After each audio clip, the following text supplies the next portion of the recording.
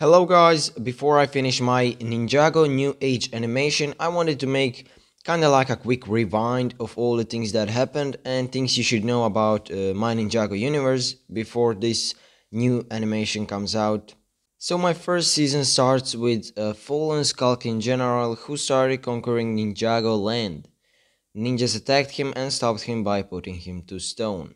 After that, the Hunter appears, paid killer from the land of Oni and dragons. He managed to set a trap for the ninja, but he failed. Pixel saved Zane and the ninja kicked him. Then the new villain appears, this snake called Shata. He wants to revenge because Ninja used to fight his people and he is getting flashbacks. He especially hates Kai. He attacked but ninjas defeated him and he at the end managed to escape. The finale of this like first season uh, starts with Harumi gathering the army of villains. Harumi, Snake, Fallen General and Hunter are together. They captured all the ninja except for Lloyd. Lloyd attacks the old Sons of Garmadon base and there he fights all the way to free his friends. He does it and all the ninja together defeated the bad guys.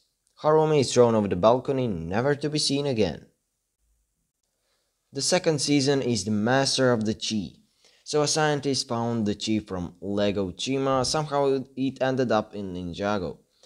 Maybe you did not know, but the chi can evolve beings, so that's why Chima characters look like this and not just like our regular animals. So he wants to create a chi bomb to evolve all people of Ninjago and then to conquer every realm there is using the Crystal of Worlds.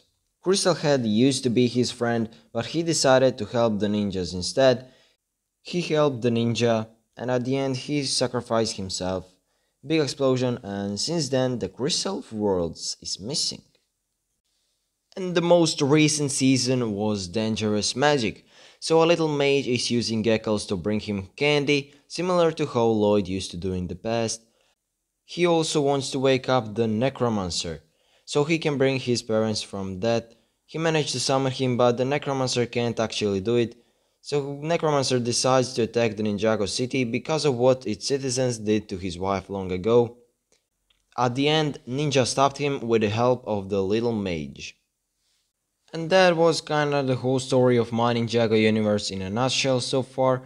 So I also wanna point out some easter eggs I was making in these episodes and so in case you missed them.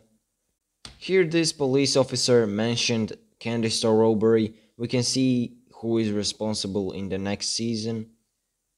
Here I'm pointing out that the Crystal of Worlds is missing and Zane is looking for it. This ending scene shows the new villain of Ninjago New Age. It is the Brezg, the Smart snake. There will be more cool characters like Nightcap and this guy. Can't wait to finish this animation, can't wait to for you to see it. Uh, I might drop a trailer real soon, I will see. Uh, of course, I recommend you to watch every single video of my Ninjago universe, there is, there is a playlist, I will link it in the description. Thank you for watching and see you soon, goodbye.